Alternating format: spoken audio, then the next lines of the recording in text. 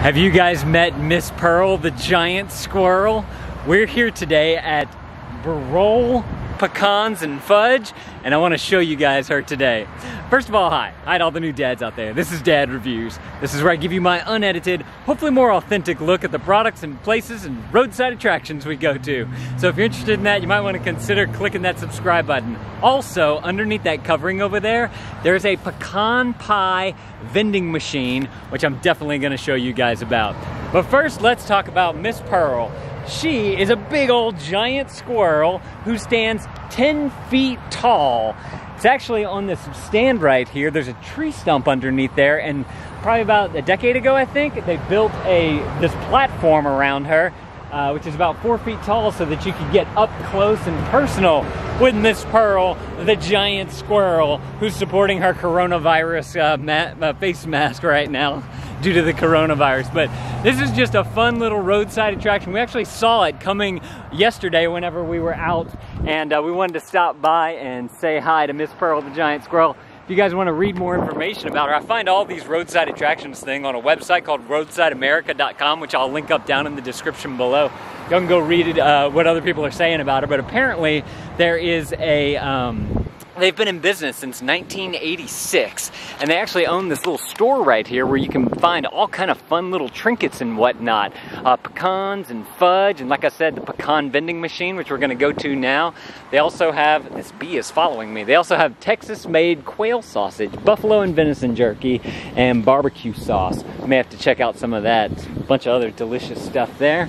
Looks like they also have some uh, peaches, and I think there's some vine-ripe tomatoes here as well. I really like the artwork that they've done on these pallets. Yeah, look, vine ripe tomatoes right there. And this is the pecan pie vending machine. I'm not too sure exactly how it works. They're 12 to 20, $10, 16. Wow, you can get a big old giant pecan pie. Look at that for 25 bucks. That looks delicious.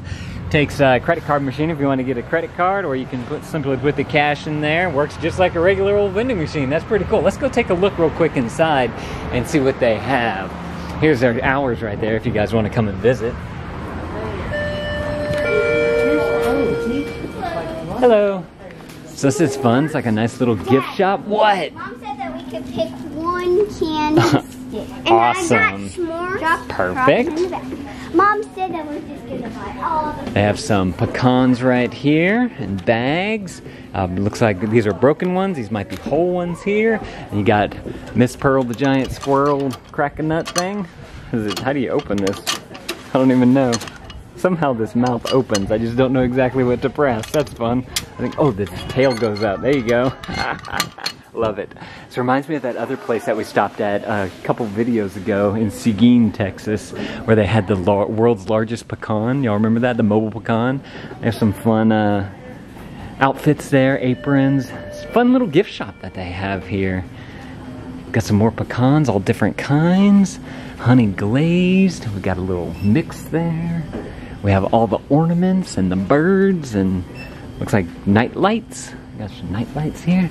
Bunch of fun tins with different kind of things in there. The Texas four-way.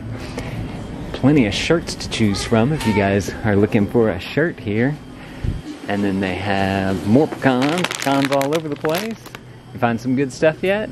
Yes, and um, I'm not sure if she's the owner or a manager, but there's a lady that was talking to me about the store. Oh, okay. I told cool. her she's in the white shirt, but I okay. was telling her she should get your email address. Yeah. There's uh, dark chocolate pecans and cinnamon and sugar pecans. Okay. And there's some big playing cards here. Just a fun little gift shop of every little thing. An armadillo piggy bank. Who remembers the armadillo roadside attraction we stopped at recently? what you got? a gun cup, coffee cup? you like it?